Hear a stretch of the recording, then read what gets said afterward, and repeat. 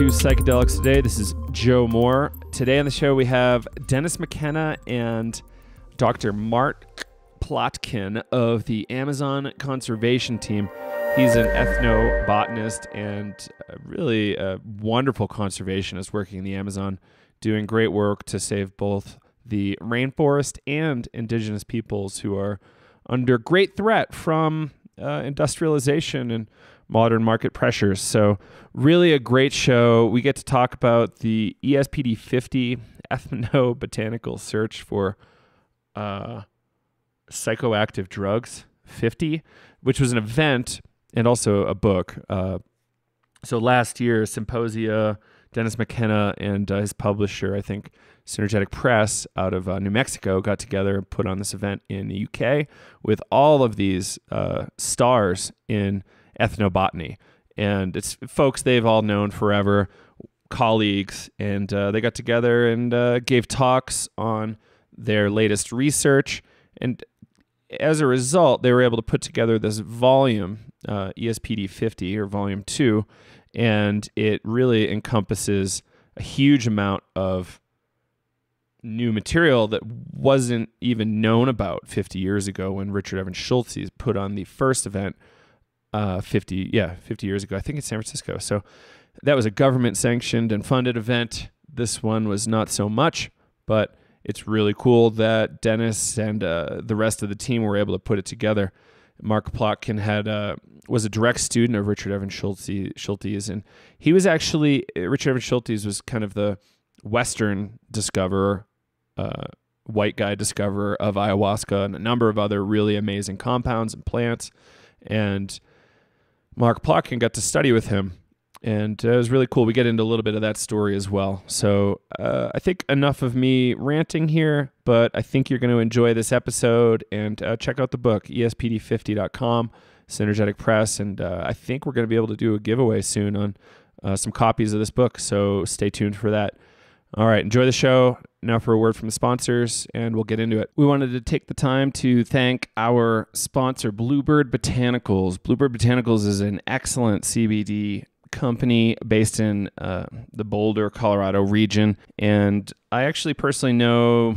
I would say six or more employees at that company. And uh, one of my good friends decided uh, they wanted to partner with us. And I've actually known known these guys for a really long time and I really trust the products. I think I even took it in 2011 uh, if they were around at that point. It was it was really early days and i started uh, taking a cbd product. I thought i thought it was bootleg. It's actually legal um, to take across state lines. Um, I, I think i flew with it across the country. Because it doesn't have THC in it, it is legal.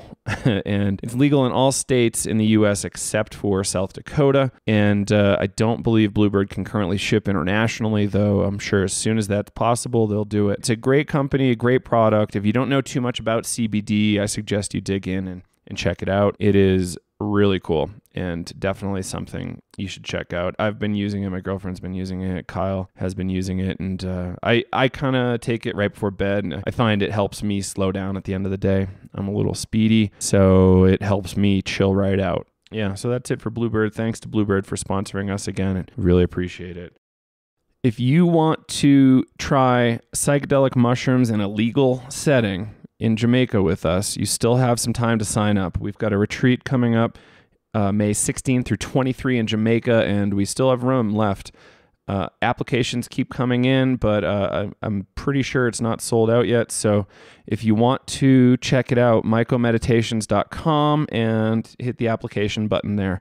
You can learn more on the site, mycomeditations.com.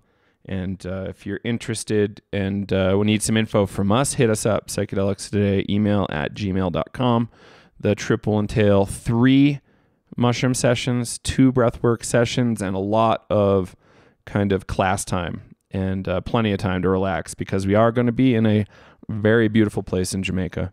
So check that out, and we'd love to have you if you're interested in coming. If you want to support the show with some small regular donations. We have a Patreon site, patreon.com slash psychedelics today, and you can give us a small uh, monthly donation or donations by show.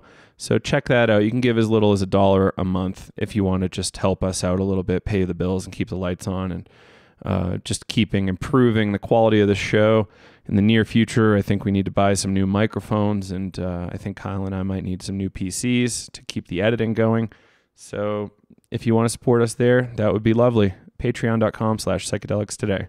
Psychedelics Today has partnered with Daniel McQueen over at Medicinal Mindfulness on this new and very exciting project you've heard about on our show a bunch and maybe elsewhere extended state DMT research. So, the concept is to use a IV pump and keep a steady blood concentration of DMT in the bloodstream for, uh, you know, an un- undetermined amount of time.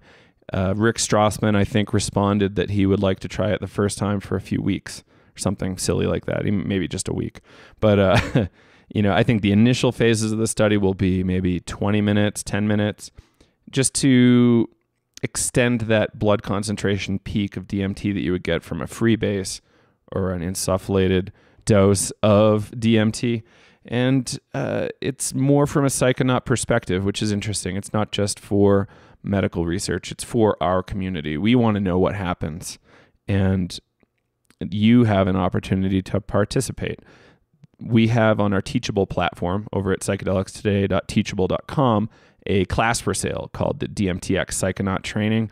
And it is the first step. If you want to be a candidate for this, um, you might have to really work. Uh, it's kind of like an astronaut program, like NASA grade kind of selection for participants. So check that out. Teachable uh, is hosting our class, psychedelicstoday.teachable.com. Kyle and Daniel McQueen ran a multi week class, and you can get the bulk of it there. And yeah, the class proceeds go to support the psychonaut training and getting uh, funding enough to push this through to make it legal to do in the States. So, yeah, again, check that out psychedelicstoday.teachable.com and see if you uh, want to pick up that class, DMTX Psychonaut Training. Finally, here, if you want to support the show but can't afford to buy a t shirt or a mug from our shop, feel free to just leave us a review on iTunes, Stitcher, Facebook, anywhere really, Google. Um, tell your friends, share your favorite episodes with them, or um, maybe ask your uh, significant other or parents for, for, a seat to our class, uh, Navigating Psychedelics, so you can keep yourself safe. So, again, yeah, we'd love to have uh, you tell your friends about the show or just plug us on um, on your socials. Thanks again for listening and enjoy this great show with Mark Plotkin and Dennis McKenna. Ladies and gentlemen, welcome back to Psychedelics Today. Today on the show, Kyle and I get the wonderful opportunity to talk to Dr. Mark Plotkin and Dennis McKenna. Thank you guys both for joining us. Thank you for having us. Absolutely. My pleasure. So I believe everybody listening to this show should know you, Dennis. I would hope. If you don't, I, I, I think our listeners might be doing something wrong. But Dr. Mark Plotkin, you are uh, a little bit, uh, I wouldn't say tangential, but you're, you're directly related to this field.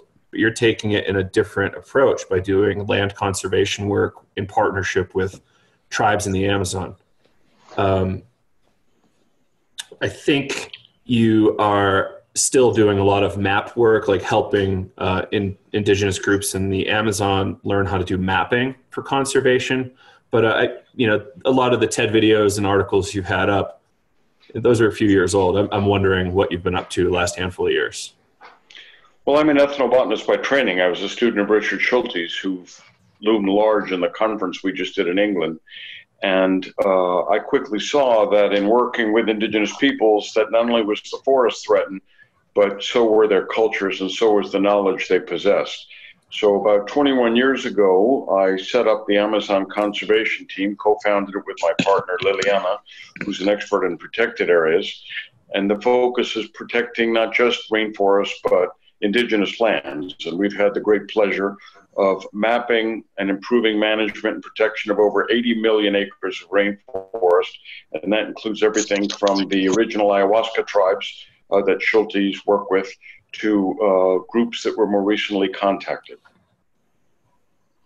That's fantastic. Um, I think I think that's a really huge uh, jumping off point. You are a direct student of uh, Schultes, uh, which is pretty incredible. Um, were, were you a student at Harvard uh, under him? I was actually a college dropout, and a friend of mine told me if you're at Harvard, you might as well check out the night school. And there's this crazy old guy who went to the Amazon in 1941 and went native for 14 years, and that was Professor Schultes. So he was not only a great ethnobotanist and a great conservationist, but great teacher. And really, uh, many of the people, if not most of the people in the ethnobotanical field, were colleagues, devotees, or people inspired by him. And he connected people like Dennis and me and many others. Awesome. Dennis, you studied with him a little bit, or was he a teacher of yours? No, I can't claim that. I wish I could. I'm jealous as hell, actually, of Mark and other people that did get the chance to study with him. Uh, I tried. Uh, I did apply to Harvard, and in 1974, I made a pig- pilgrimage to Harvard on a Greyhound bus. I was living in Berkeley at the time. I, I went uh, four days on a Greyhound bus to get to Schultes. He was extremely kind. Uh, you know, I must have looked like just one of many scruffy hippies that probably showed up in his in his office. But you know, he closed down the office, took me to lunch at the faculty club, and all that. But when I and he said you have to go back to college and get more organic chemistry and more taxonomy. And, and, so I immediately took that to heart and went back, and I had already graduated, but I enrolled in Fort Collins and uh, Colorado State University and took those subjects. It didn't do any good. Other higher forces at Harvard decided I wasn't really qualified. But I ended up working for another uh, lesser known but equally uh, excellent mentor at the University of British Columbia, Dr. Neil Towers. And of course, he and Towers were, were friends. And uh, that gave me actually a perspective, I think, that I, I'm still grateful for because Towers was basically a chemist. And, you know, so we learned a lot of chemistry, a lot of pharmacognosy. And Schultes was more of a you know, uh, classical botanist. Those are things I wouldn't have learned if I studied under him. But it was still, it was great to meet him, and we kept in touch over the year. I think eventually he, you know, uh, I, I was able to make some contributions, and he was aware of them, but always encouraging. And like Mark says, I think he was just an inspiration to this whole generation uh, of young ethnobotanists um, you know, in an era where very much like now, you know, there's a revival of interest. People are saying, where do I go? Where do I go? Well, we can't send them to the great man anymore, so they have to find their own way. But there are people like Mark out there who is a tremendous spokesman for all this. And, uh, you know, and unlike some of us who just rest on our laurels and talk about the old days, Mark's actually out there doing the work. I mean, he's he's an old guy, you can see, but he's he's in the field and he's doing stuff, and I have great admiration for that. You know, I mean, I go to the jungle for more than a week or ten days at a time. I mean, you know, then I begin to question whether I'm going to survive. you know, uh, he, he doesn't have that problem, so. It's an interesting thing. Schultes, uh, I, I believe one of his first trips to the Amazon was in 1943, so right around the middle or beginning of World War II. Uh, and it's an interesting correlate that probably when you were meeting him, it was right around the Vietnam timeline or so. That's my guess. So it's a really interesting thing. You know, he's doing university work and not doing war, which is cool. Um, so it's some sort of interesting uh, anti-war slash botany psychedelics connection? Well, Schultes was in the Amazon during World War II, but he was uh, not, he was doing a very special project. He was not, uh, he was helping his country with the war effort. And I think maybe it's better if I, I ask Mark to explain what that's about. I mean, it's really important, I think what he was doing. It has nothing to do with hallucinogens. But. Yeah, please, Mark, if you want to enlighten us there, that'd be great. Well, Schultes got to start as an ethnobotanist in the 30s with the Kiowa in Oklahoma, where he said he went into a teepee with the Indians and the peyote and came out a different man. And he said he was lost to uh, medical science forever, which I disagree with, but that's another story.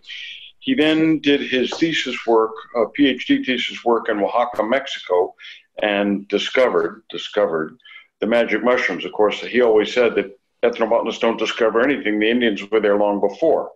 Uh, after that, he took a job as a government botanist in uh, the Colombian Amazon, 1941, September, and the war broke out a couple of months later. So he reported back to the embassy in Bogota to see what he needed to do, and they said, "Get your ass back to the jungle and cut rubber." Because the Japanese have taken over all the rubber plantations. So he always said that history of our species could be written in terms of plants.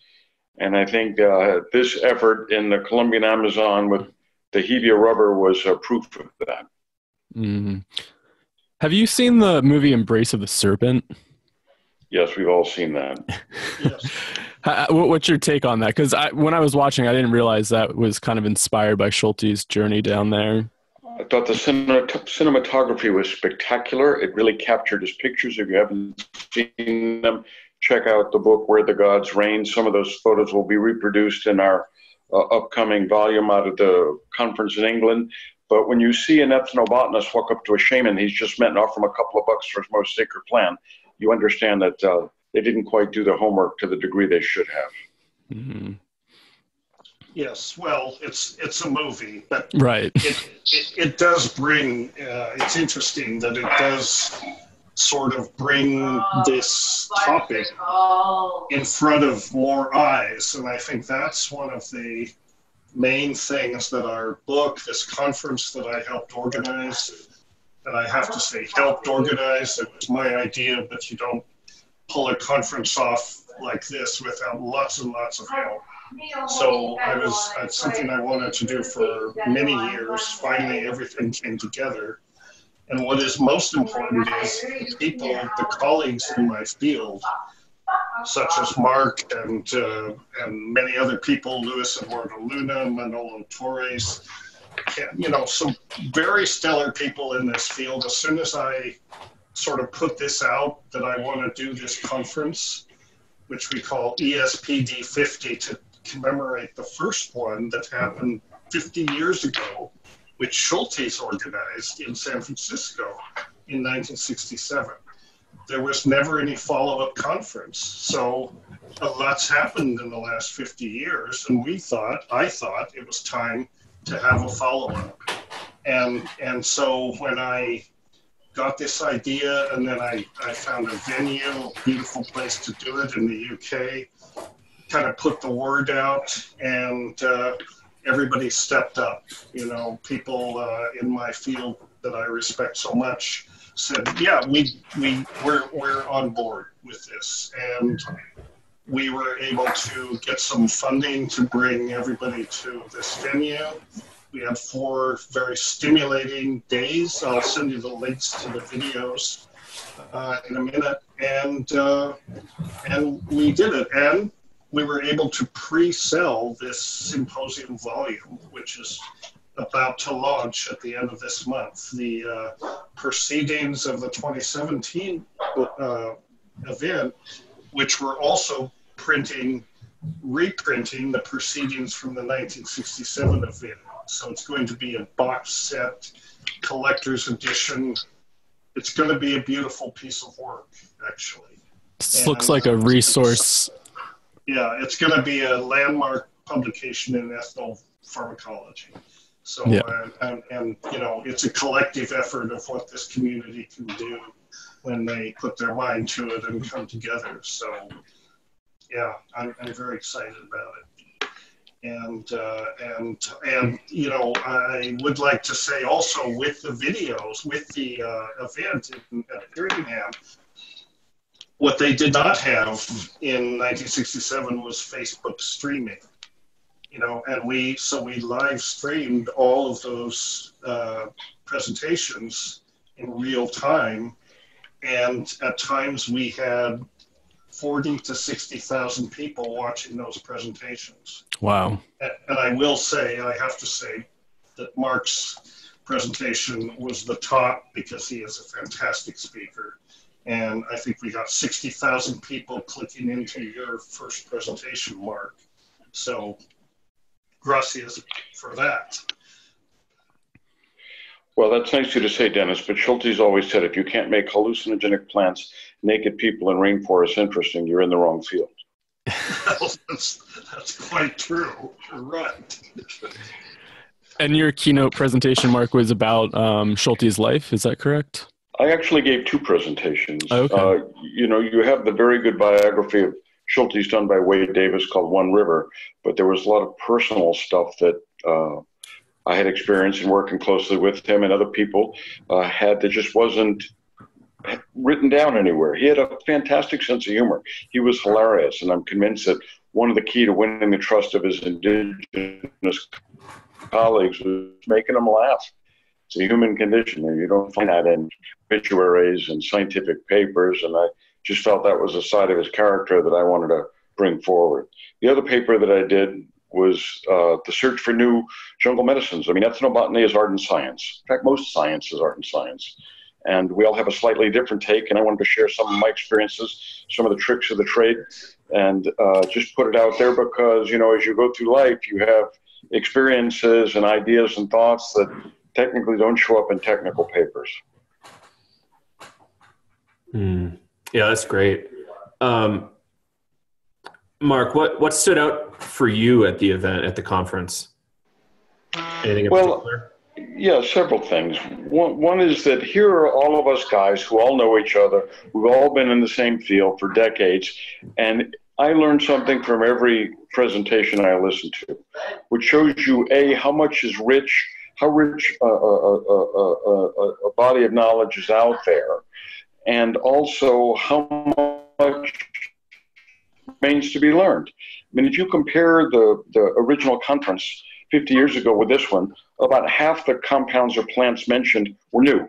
So in 50 years, we learned a lot of new stuff, um, which says to me how much is still out there to be learned. So on the one hand, it's a very exciting time to be an ethnobotanist or an ethnopharmacologist.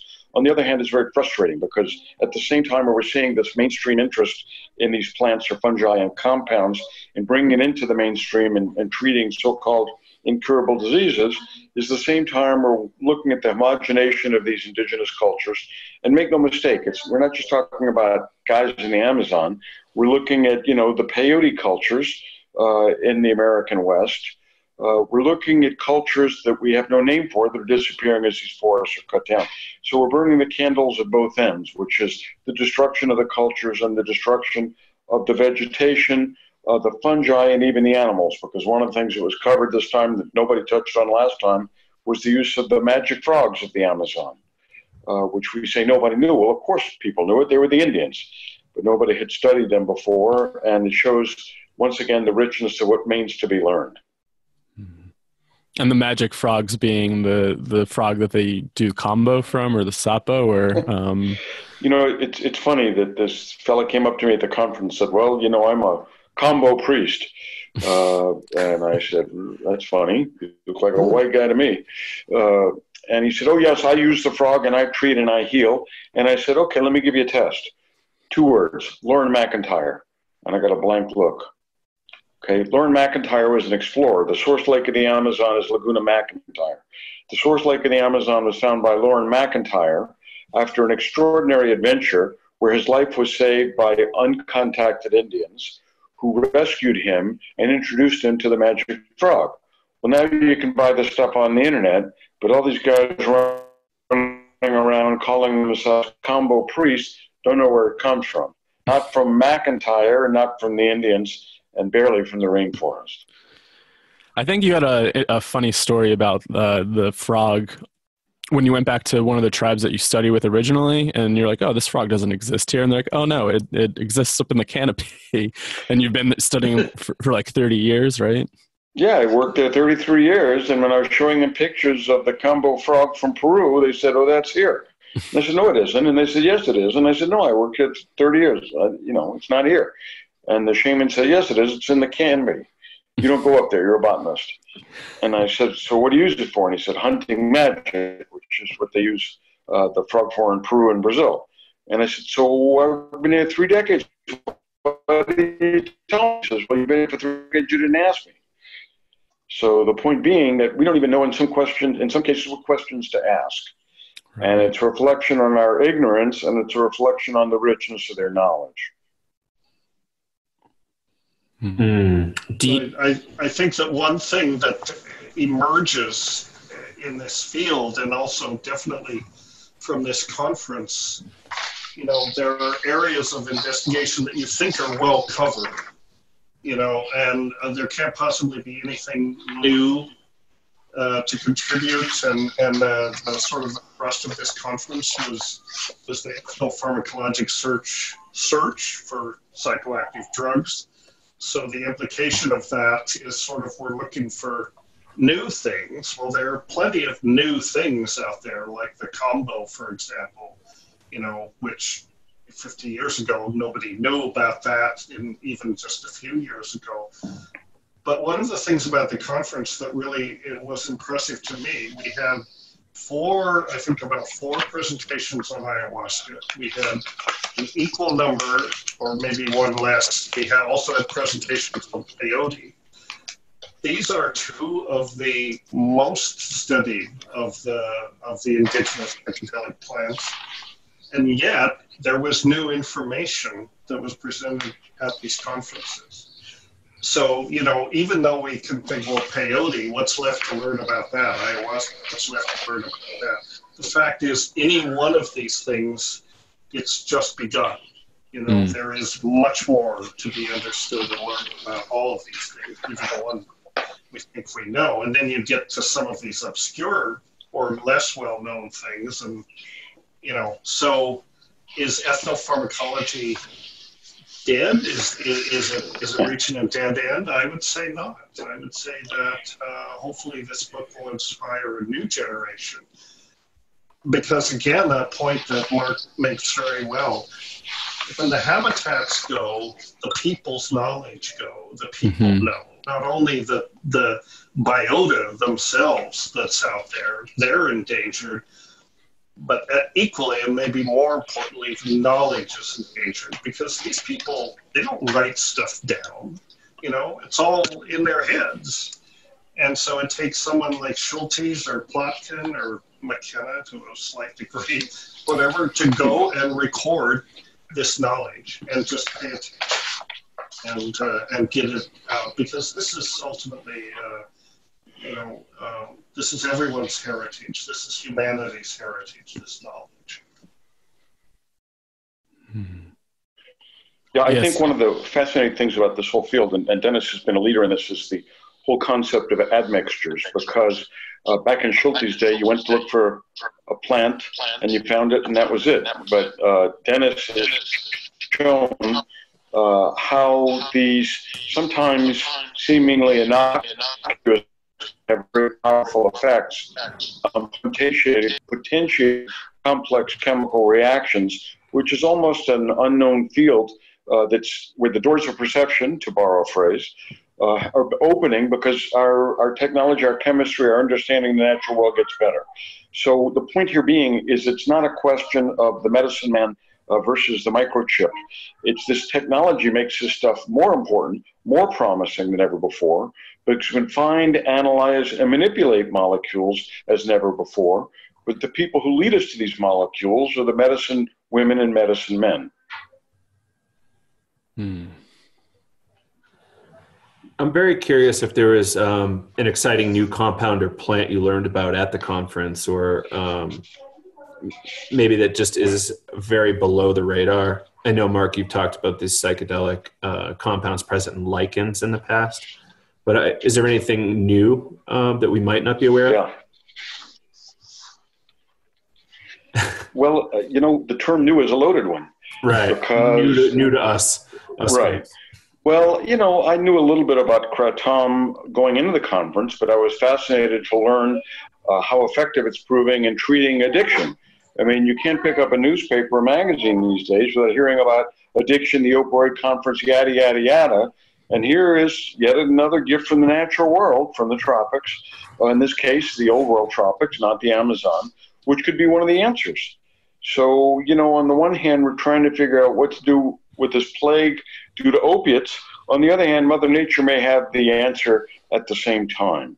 And so, once again, uh, it's, it's almost a sort of shamanic circle of life that we end up back where we started. So, is it new? It's not new to the people who have probably been using it for 10,000 years. Right. Uh, so that's why, what do you mean by new? It's like, what do you mean by discover? I mean, Columbus went to his grave thinking he discovered America. That would come as a surprise to all the Indians who were on the shore waiting for him when he when he sailed up. Right, Dennis? Right. Yes. Exactly. Exactly. You know, it. I mean, there's a couple of things. It's interesting that you mentioned Columbus and when he arrived on Hispaniola. Uh, of course, it was an island of the Caribbean. It was not, you know, continental America. But the people there were using two kinds of uh, smokable materials. They were using tobacco, and they were using uh, snuffs. And uh, interestingly, Columbus was most impressed with the tobacco, with these people who drank smoke, as he put it. Hmm. So that's dramatic and interesting to him. So he took tobacco back to Europe with him, and we know, you know, what that resulted in, essentially a health plague that, you know, we're still experiencing. And that became a global drug. I've often wondered what would have happened if he'd taken Anadenanthera snuff, which is a DMT snuff, back with him. You know, that might have changed Western consciousness in a slightly way. But uh, it wasn't dramatic. You know, people would snuff it and then they just sort of sit there. Maybe they dance around, but there was no dramatic, you know, combustion with smoke and all this. Uh, yeah, and, and then I think the other the other thing that uh, you know, is worth pointing out that this this repository of indigenous knowledge is really it, those are the true scientists in a certain way because these are people that have kept this knowledge. They've been stewards of this knowledge for, in some cases, thousands of years. If it weren't for that, there would be nothing for the scientists to discover. I, I think time and time again, it's been shown that if you're looking for new compounds, the most effective way to do that is through ethnobotany. I mean, you can do high throughput, massive screening all day long. It just doesn't do it. You know, I mean, the, the time is better spent talking with a person who actually uses these medicines in a real time situation. You can get that knowledge, you can put it, then you can go back to your you know, your receptor systems and your fractionation systems and all that. But you have the kernel of the knowledge from the medicine man who actually knows what these things are for. It, it, it you know, ethnobotany uh, beats uh, uh, mass screening every time. Um, Hmm. another uh, interesting example of that, and we didn't, we had one presentation on Salvia divinorum, which is the hallucinogenic Mexican mint.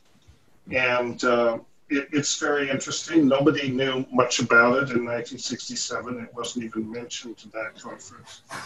When chemists and pharmacologists finally got to it and focused in on it, it turns out that salvinorin A is a very, very interesting compound because it is absolutely selective for the kappa opiate receptor and nothing else this does not happen in drug design. Uh, the, the person that did the pharmacology on this told me, you know, if I had set out to design a kappa opiate agonist using all the computer aided uh, tools for molecular design, it wouldn't have looked like Salvia divinorum. Huh. You know, it wouldn't have looked anything like it. He said the stuff looks like cholesterol. I can't imagine why. so nature is full of surprises, is I guess the take-home lesson.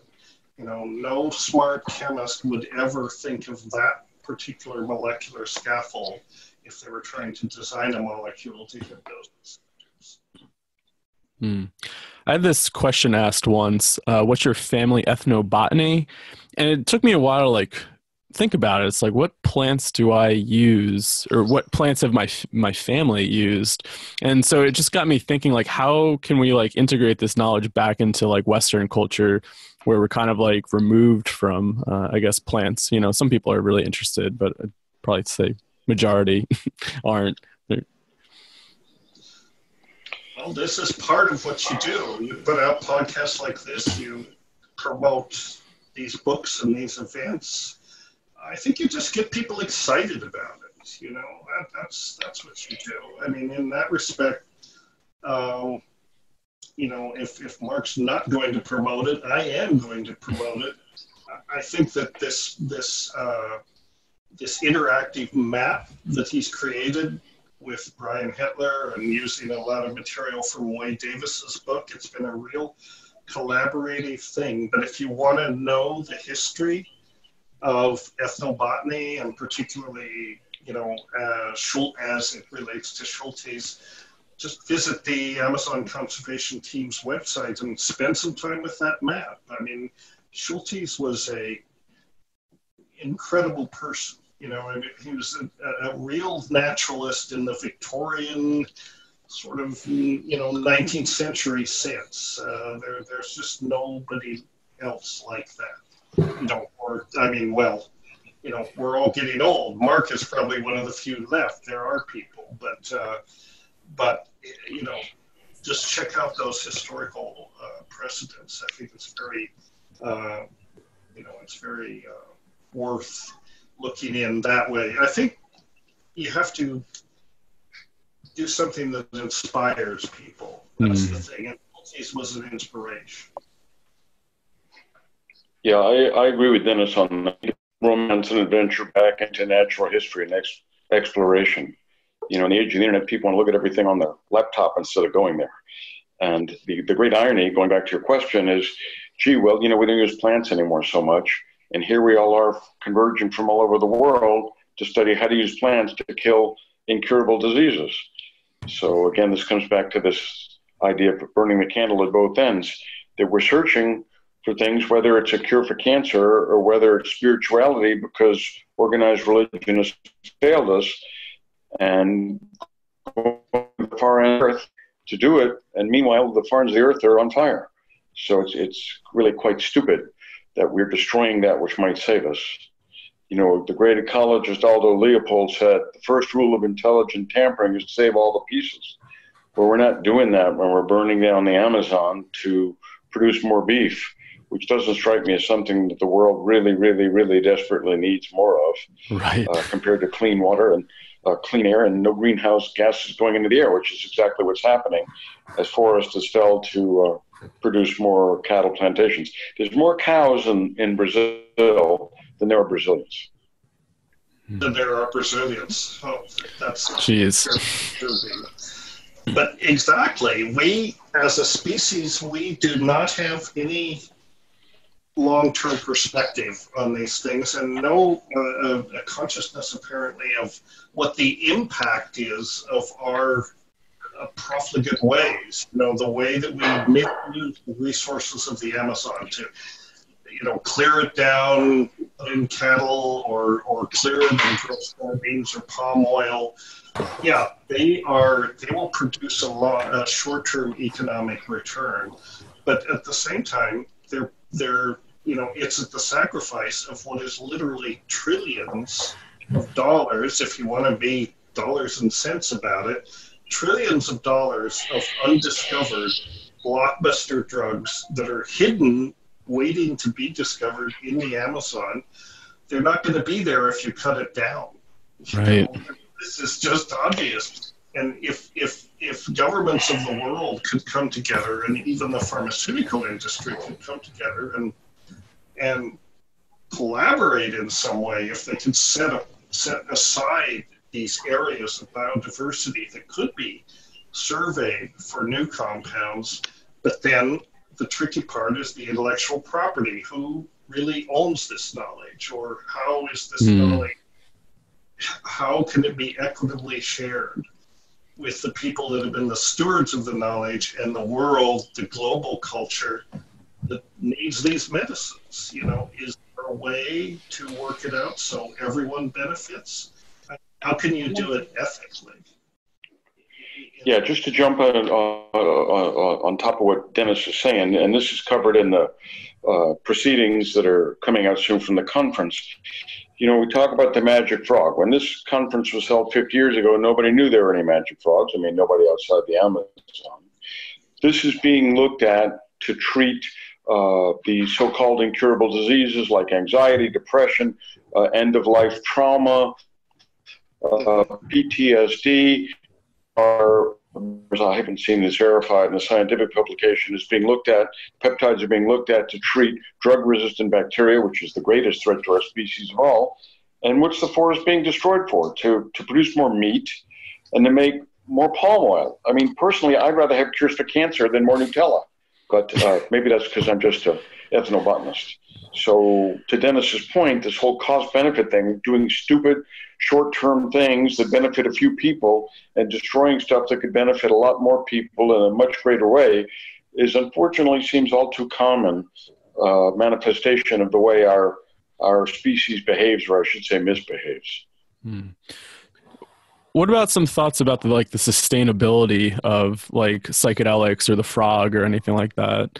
Um, you mean in terms of the sources of them?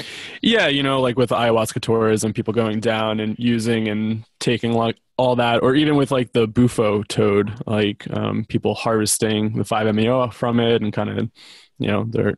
Same with peyote. It's all yeah. like kind of a limited production versus consumption. Yeah, it's it's a pretty complex situation with ayahuasca tourism, for example. I think I think that uh, ayahuasca is not endangered. Ayahuasca ayahuasca tourism, if anything, is leading. There's more ayahuasca being grown everywhere in the world than ever before. Oh. Uh, you know, so the tourism, which is definitely you know a multifaceted thing. There's dark sides and there are very, positive sides I don't think uh, that uh, a threat to the species is part of it because, like any commodity that the world demands, you know, the suppliers will rise to meet the demand. I mean, look what's happened with coffee or chocolate or so on, these sorts of things. With something like the toad, it's a different kind of story. You know, I mean, they can probably not be.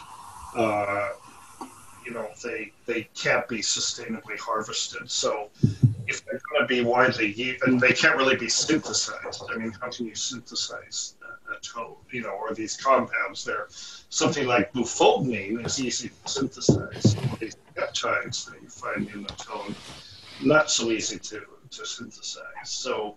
Uh, you know, those things are more of a problem. Uh, and, you know, this I mean, it's a complex set of moving parts and, and interact interlocking uh, concerns. You know, sustainability, preservation of indigenous knowledge, reciprocity. How do you keep the the traditions of the culture even intact with all of these people going down? I mean, I think the people who, who go to the Amazon to seek ayahuasca they're not thrill seekers by and large. They're sincere people looking, you know, for meaningful experiences, experiences that our own religious institutions don't supply anymore. They're respectful. But then you get millions of them going down. How does that affect the economy and everything else of the indigenous people? I mean, we know that religious uh, ayahuasca tourism greatly changed the economy uh, of, of Peru and mestizo society around Iquitos. In some ways, in good ways, in other ways, not so good ways. So it, it's, it's complex. Yeah, Dennis is Dennis is right. Uh, ayahuasca tourism is a two-edged sword, and of course, the joke in Iquitos, Peru, is that they should have ATMs in every corner, ayahuasca teller machines. so, what what I find amazing is, you know, you wouldn't hire a surgeon off the internet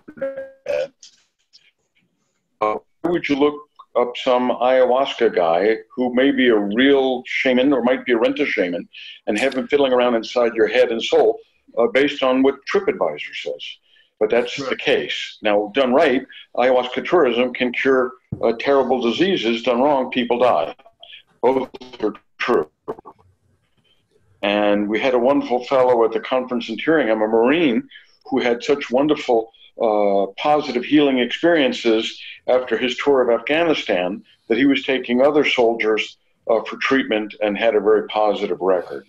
The same token, uh, I have a shaman staying with down here in Virginia who tells me of watching little planes fly out of the, his jungle airstrip full of ayahuasca, and he doesn't know who they are, where they're going, and there's no reimbursement for the local people. As Dennis said, ayahuasca is rather a, a weedy vine, and I've seen it growing in Israel, I've seen it growing mm. in Hawaii. So Banisteriopsis caapi is not going extinct. However, uh, the knowledge of how to use these things, there may be varieties that are disappearing in this rush towards commercialization. Uh, I would say that on the whole, it's somewhat positive with a lot of negatives, but it needs to be done uh, much better. Yeah, yeah.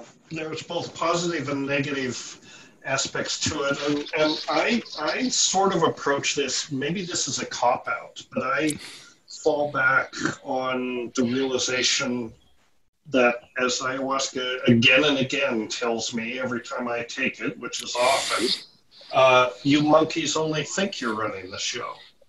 You know, and, and what it actually is coevolution, you know, and the plants are running the show, you know, and, and, and, and the plants are, if you think about it, the plants are running the show for the entire uh, um, uh, for all of life on Earth, essentially, for what is going on on Earth, because they are sustaining life on Earth through photosynthesis. If plants go away, the show stops.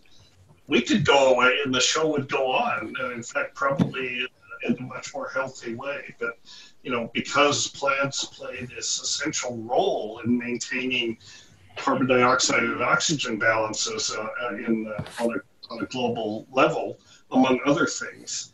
I can sort of think of it as, you know, this is part of the coevolution. And, you know, and, you know, I mean, this isn't a scientific notion, but I often have the feeling that ayahuasca has escaped from its home in order to appear on a global stage because it has an urg- urgent me- message for the monkeys. you know, and the monkeys, the message is basically, wake up, you clowns, you're wrecking this place you know, that's the message. And, you know, more and more people are getting it now, whether they go back and change their lives. But, you know, it's, it's, a, it's a process. Uh, you know, propagating these ideas and sharing these ideas. And then you have the evolutionary catalyst in terms of the psychedelic plants, especially ayahuasca, and I'd say mushrooms too, but ayahuasca seems to be the superstar right now.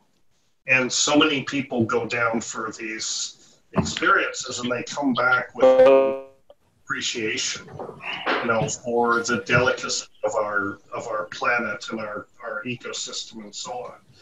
Some actually respond that, you know, changing their life, propagating the message. So, you know, um, in some sense, I take some comfort in knowing that the plants are running things, and I'm sure they're a lot smarter than we are. Yeah, the most eloquent uh, written version of what Dennis has just been saying is by Michael Pollan in his book, The Botany of Desire, that there's a whole theory out there the plants are just using us to pollinate them and move them around uh, very effectively. And uh, he's coming out with a new book, which I'm reading, which is called Changing Your Mind, which is the use of hallucinogens uh, to treat these terrible ailments that Western medicine, in particular Western psychiatry, seems so inept at treating, much less curing. But one point that, that he and more importantly the, the physicians uh, that he writes about make very clearly is that psychedelic psychotropic substances should not be used by people who are psychologically uh, delicate. Shamans will say often that they won't treat schizophrenics because, you know, they come apart under the influence of these uh, powerful substances. You know, you have to remember that hallucinogens are essentially vegetal scalpels that allow shamans and other healers to dissect, uh, diagnose, analyze, treat, and sometimes cure the human mind. but the fact that some people do have very bad experiences, uh, that there are regular reports of, of ayahuasca treatments gone bad, is proof that this is not something to be trifled with. And yes, they're plants, and yes, plants by and large are safe, but not all of them. You know, strychnos is a plant, strychnine is a plant compound, uh, cocaine is a plant compound. And again, this is another example of a two edged sword. So people need to regard this stuff uh, with the seriousness it deserves. How do you think this book that Michael Pollan's putting out? It's coming out in May, right? How do you think uh, that's going to be received? Well, you know, he has a tremendous following, well deserved. He's a wonderful writer and a careful researcher. And I remember about three or four years ago, there was a headline story in the front page of the Wall Street Journal saying, uh, magic mushrooms induce spiritual experiences. Breaking news, right? Uh, so all of us would, roll our eyes at this, but it's big news to a lot of people. So I think that, that Michael's book will do more of this, which is guys like uh, all of us here will sort of roll our eyes and going, duh, or what's the news, or isn't this great? And most of the people that will read it really will open their eyes and uh, open their minds as well, I'm, I'm willing to bet. So I think it's, it's likely to be a tremendously positive shot in the arm for everything from shamanism to clinical trials of psilocybin. But, you know, it ain't going to come down to any one book, whether it's Michael Pollan's or this wonderful new volume that's coming out as a result of our conference. We live in an age of fractured media. It's not like the old days when I was growing up where you put something on a National Geographic special and 30 million people would tune in. You need websites, you need podcasts, you need films, you need magazine articles, uh, because there is no one way to reach uh, even a mass audience in the ways it was true, say, 30 or 40 years ago. Right. I, I think uh, I, am glad you brought up Michael Pollan because I think he is he is an influencer, and I think his book. I'm a great admirer of his work, but I think this is, book is going to get a lot of notice. I think this is going to be another catalyst.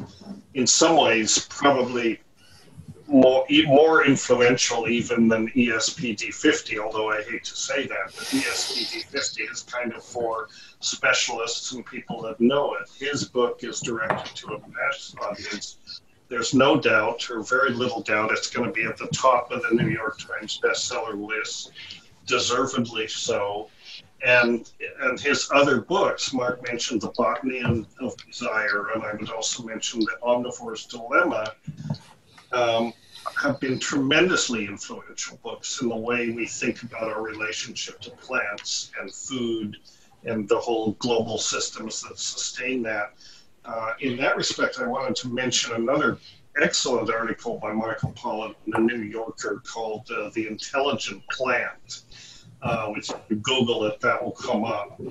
And best, most cogent discussion of this crazy topic of plant intelligence, which is now getting a lot of notice. It's it's no longer, you know, pseudoscience. It never was pseudoscience, but a lot of people are talking now about yeah, plants have a kind of intelligence. It's not like us.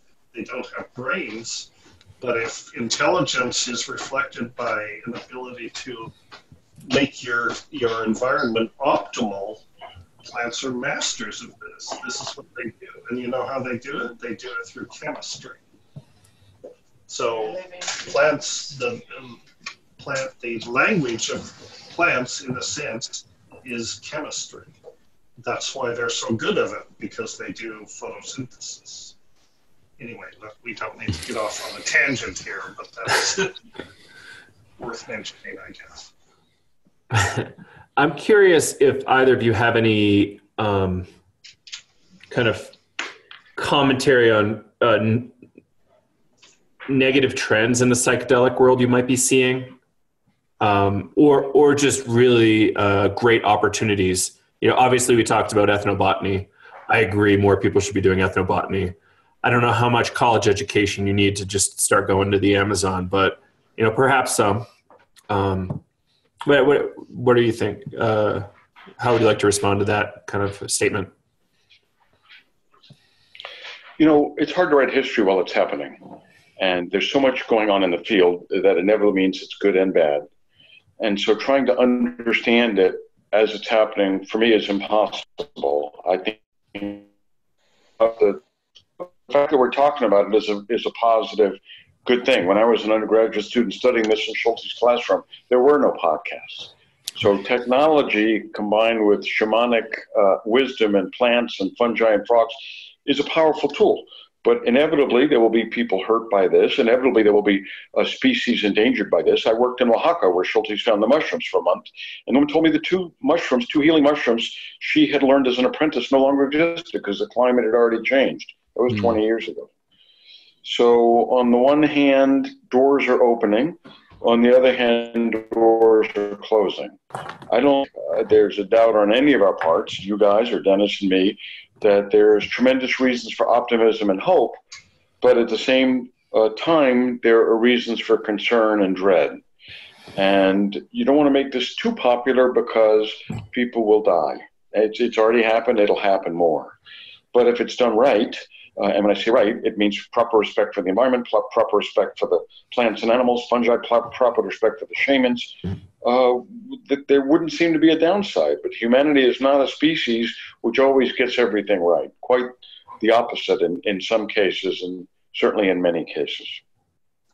Quite true. And I, I think again, this speaks more to the human character of, than than some of these things. I'm I'm fond of saying, and I I do believe it. There is no such thing as a bad drug. There are plenty of bad ways to use drugs, but the point being that with any technology, and drugs are kind of technology, the moral dimension comes out of human behavior. You know, we can choose to use technologies in beneficial ways or in harmful ways. So what we need is clarity about the use that we put to these things and the context in which that use takes place. You know, so uh, so that is part of the you know the conundrum that we face as this topic gets gets more and and more popular, more and more people get interested in it, and so on. Uh, and I think the answer is education. You know, it doesn't have to be formal academic education, although that never hurts.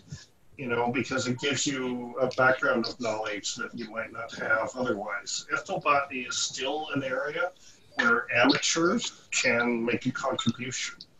But I do tell people, uh, I get asked by many students, I want to do a career in ethnobotany, how do I approach it? I've always thought that mentors are the most important, the best. But you know, if you want to join, if you want to get involved in ethnobotany, you know, join the Society for Economic Botany. That's step one.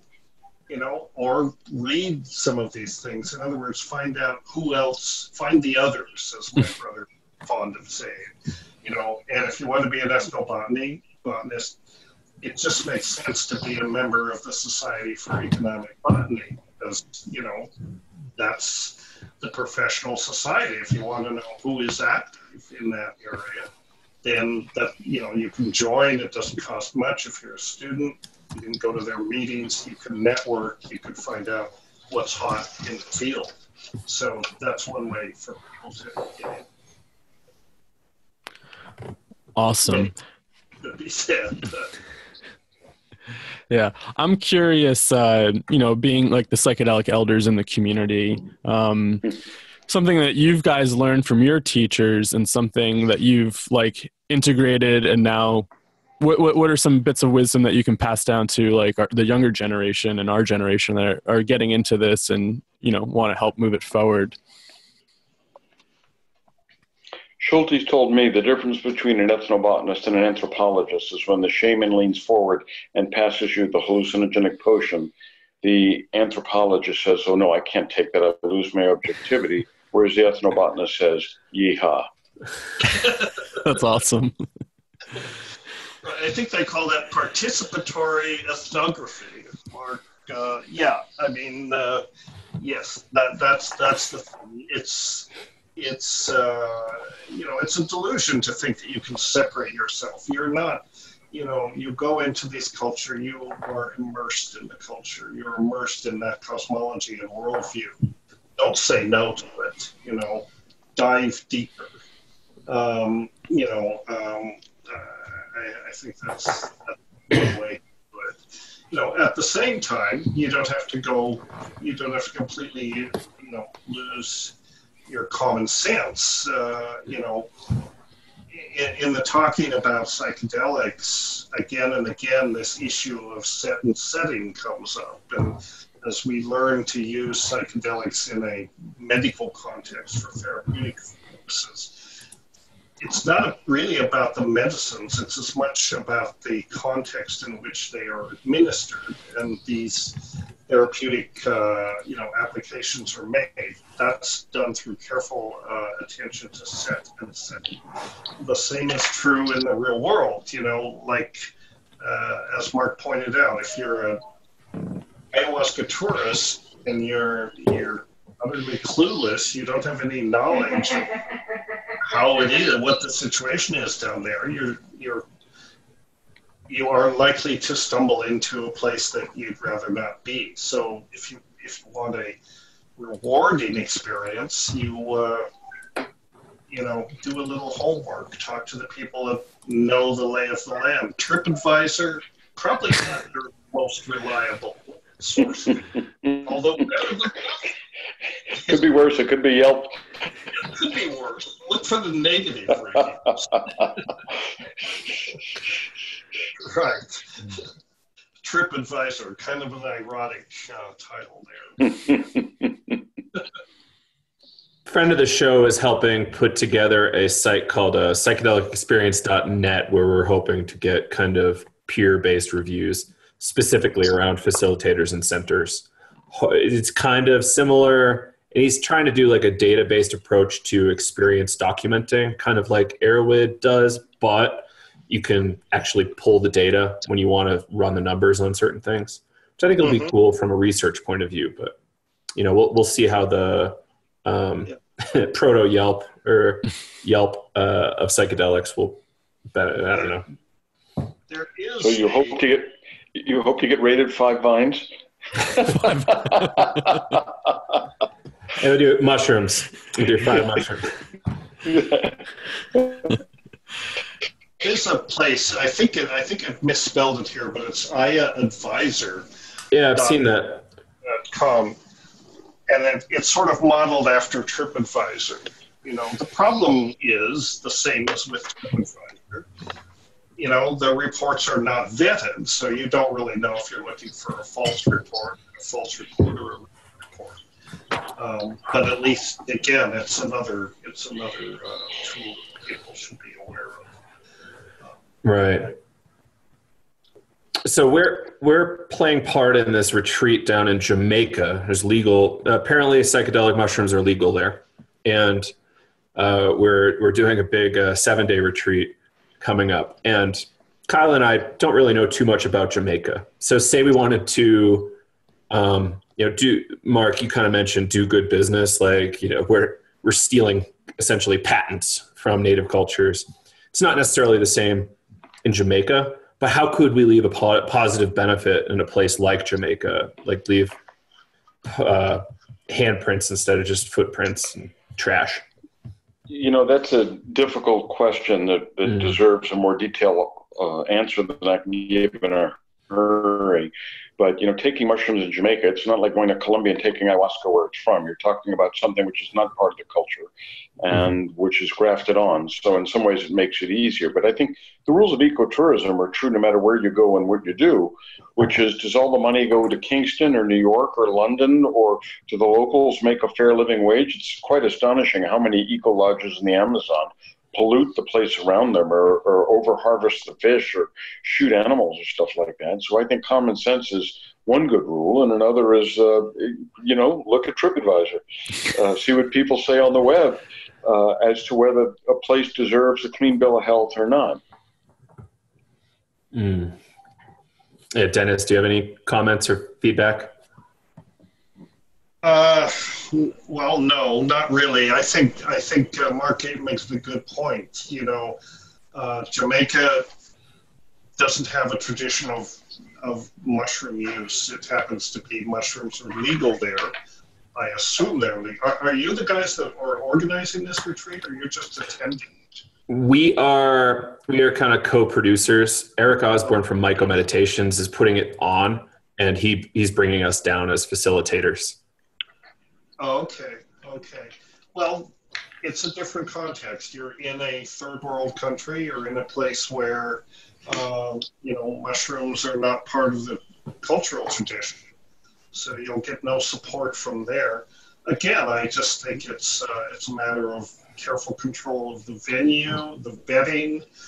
I don't know what you may not be involved. I organize, have been organizing some retreats in in Peru off and on for the last four years, and uh, we uh, vet our people pretty pretty thoroughly, you know, and that's I think that's part of it. You know, we all I always do a Zoom conference before anyone actually gets accepted, and I we have a we have a seven page uh, medical form that everybody has to fill out. So uh, you know we try to control as many variables as possible and, and make sure that people have a you know I guess mainly that they come to the experience with uh, a knowledge base. You know, they're as informed as they can possibly be. And we get people who are absolutely no experience with psychedelics to people that are, you know, 30 year veterans with psychedelics. So it covers the whole spectrum. So information, and then once you're there, I think you have to focus on safety so that people feel comfortable. They feel like they're in a safe place. They don't have to worry about these external world issues. You know, I mean, if they're a woman, they not have to worry that they're going to be molested. These sorts of things just created uh, an environment and uh, essentially a, a sacred space and time, I think, where people could have their experience in a safe place and then help them to integrate. That's also very important. I hear about so many of these ayahuasca centers where they go, you know, they take ayahuasca seven days straight without any integration. They send these people off, you know. I mean, no wonder things go off. Uh, they're, they're, not, paying attention. Yeah, it reminds me of that old Chris Rush routine where he said, "Yeah, they're doing these lab experiments with uh, THC. They're giving a hamster the, a piece of hashish the size of a table, and then they wonder why it won't run on the wheel."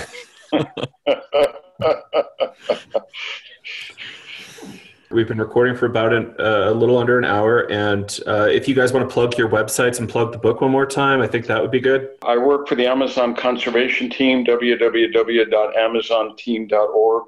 For psychonauts and other people interested in ethnobotany, you should check out our Schultes storybook map, which has much of the origin of magic mushrooms, the discovery of ayahuasca, and other snuffs. But it's a place to start. And I encourage everybody who wants to find out what's going on in the field to check out the upcoming uh, proceedings of the conference that Dennis is the editor of.